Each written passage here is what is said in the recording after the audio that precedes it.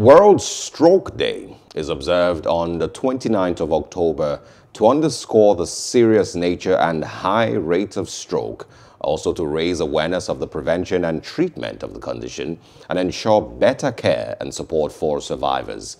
We'll be looking at the causes of stroke and if it is preventable. Uh, joining us this morning is a cardiologist, Dr. Adanijo. Thank you so much uh, for stopping by and for joining us this morning.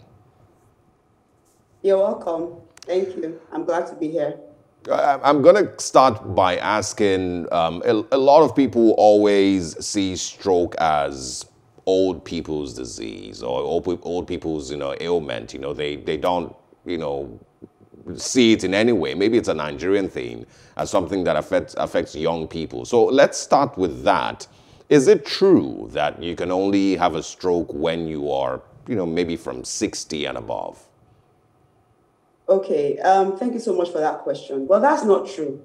Um, even though strokes are commoner in older people, but we're finding these days that more and more young people are coming down with strokes. People in their 30s, people in their 40s, and even a few people in their 20s, you know, are actually coming down with strokes. You know, and this is because um, many of these people have some or all of the risk factors for stroke. So once you have a risk factor for stroke, then it's you're um, predisposed to coming down with a stroke, regardless of your age, whether you're 30, you're 40, or you're 70. Hmm.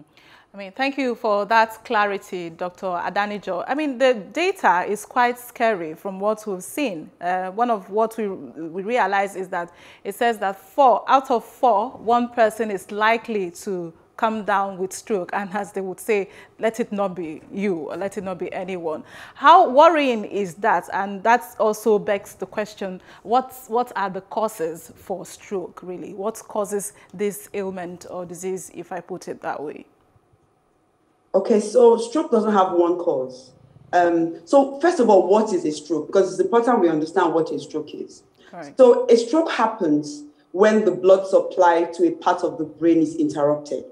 Okay, so when the blood, the blood supply to a part of the brain is interrupted, that part of the brain dies, you know, and it causes loss of function of the part of the brain that um, the part of the body that the brain supplies.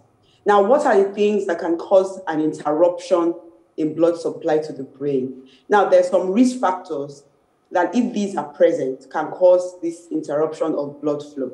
Okay. Now, these risk factors include hypertension, cigarette smoking, high cholesterol, obesity, diabetes, okay, and some other risk factors. A family history of stroke is also a risk factor, okay?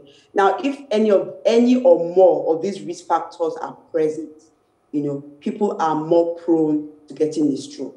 Now, it's interesting because it said that 40% of Nigerian adults are hypertensive. Okay, so that's a lot of adults.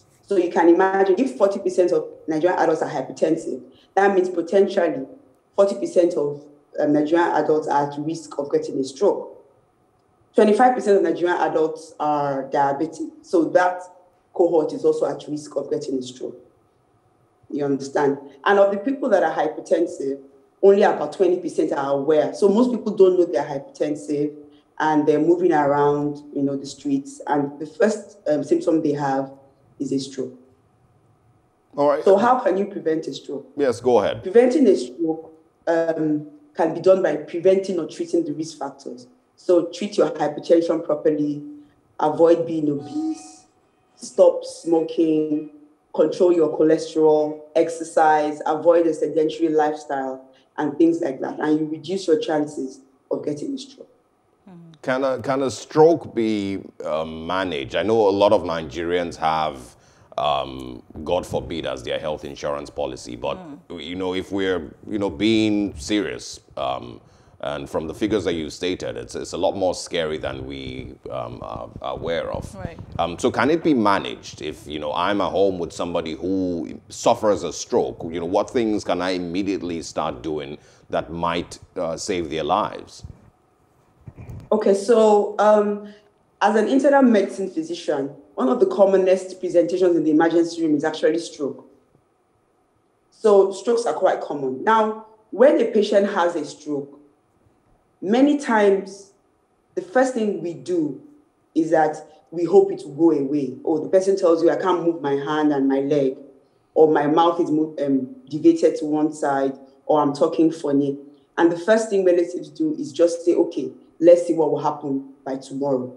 Unfortunately, that is the wrongest thing to do. So as soon as somebody around you has a stroke, they can't move one side of their body, or you find out that their mouth is deviated to one side, or that their speech is slurred, the first thing you need to do immediately is take the patient to a hospital. Now, when the patient gets to hospital, then the doctors will manage the stroke in conjunction with appropriate specialists. So, yes, strokes can be managed. We manage strokes every day. Hmm. But the only issue is that once there is a paralysis or there is a damage to one part of the body, it takes time for that part of the body to regain function. Take, for example, if somebody has a stroke and can't move one arm and one leg. Now, unlike other diseases like malaria or things like that, where you recover in three days, you can't really put a timeline to the recovery of stroke. So once you treat the immediate issues, you know, you give them immediate two weeks treatment, then the time the paralysis or the weakness recovers is actually not in anybody's hands. So it's a long road to recovery. So it may take two weeks, it may take two years.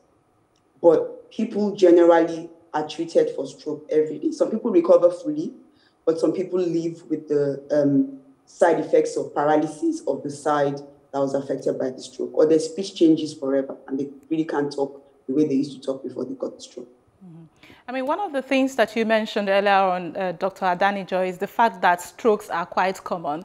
Uh, before we came on air, I was having a conversation with you know, a certain group and, and said, oh, today is World Stroke Day, and half of them didn't know what I was talking about. So I'm wondering, how aware are we as a people about this day or, you know, all that uh, you're talking about already and what strategies uh, do we still need to put in place to get people more sensitized about the seriousness of this matter? Okay, but there's there's some awareness because I'm sure um, everybody knows somebody that has a stroke or that has had a stroke before. So that's how common it is. Now, because in our environment, we tend to not like to talk about bad things. We don't like to talk about illnesses. We always say, God forbid, it won't happen to me. So many of us like to deny the fact that this is out there. But what do we need to do? we need to educate, educate, educate. Okay? We need to keep talking about it. We need to keep educating people. We need to spread the word that you know stroke is preventable. Okay, stroke is not a is not something that just comes, you know, out of the blue. There's some things you need to control. And if you control those things, it's not likely you'll get a stroke. You know, so I think we just need to keep talking about it and we need to educate people and the word will eventually go around. How, how are we celebrating World Stroke Day? Are there certain things that um, are going to be happening across Nigeria and across the world uh, today in celebration of this day and uh, to you know mm. raise more awareness? Well, um, Nigeria is in very interesting times. Um, so I'm, I'm not sure much celebrations are going to be done. But like I said, awareness, awareness, awareness. There's a, there's a great online campaign going on about you know World Stroke Day and and all that. This interview is, is, is one of the things that we're doing, you know, to celebrate World Stroke Day and to um, enlighten people about the dangers of getting a stroke. And um, and yeah, basically, so so that's what's going on. Right. Dr. Adanijo, thank you so very much for your thoughts there and do keep safe out there as well. You're welcome. Thank you for having me.